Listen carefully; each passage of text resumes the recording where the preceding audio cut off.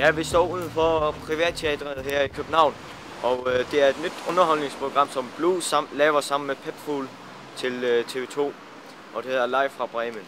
Så hvis vi går indenfor... Nu står vi indenfor her, og øh, der, der er prøvet nu. Det, det er en slags, en slags generalprøve. Så, men øh, ja, hvis vi kigger derned, så kan I se det. Jeg har Kasper Christensen her, og øh, han er manuskriptforfatter her i øh, det her show. Og øhm, Kasper, øh, hvad forventer du af det her program? Altså, hvad er jeg, det forventer, program? jeg forventer, at, det, at folk griner.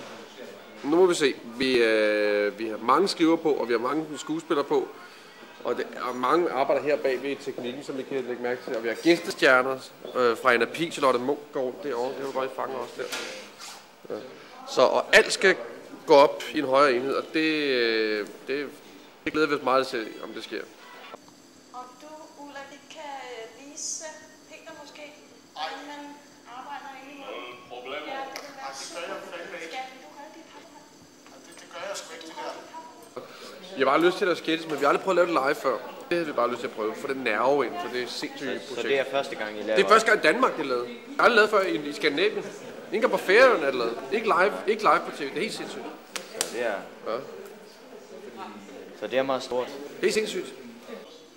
Så lad os komme i gang. Slap helt af i mundtøjet her først, ikke? Helt slap. Helt lige så død, som du er her, ikke? Sådan der. Tungen hænger godt ud. Sådan, så kører vi. Klar. Jeg tror, den er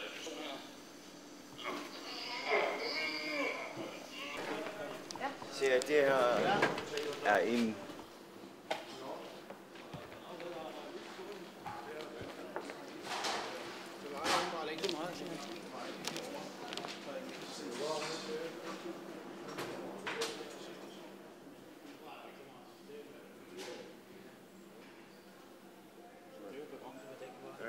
Og hvad handler det her program om? Altså, Det handler ikke om noget som helst. Det handler om sjov ballade.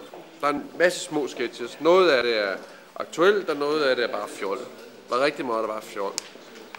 Ja, vi står her i øh, bag, bag scenen her i øh, Bremen Teatre, og øh, Det er mere det der med, at han bare lige kan gå ind, og han svinder bare, ikke? Altså, Det er så, så rigtig sjovt. ja, okay.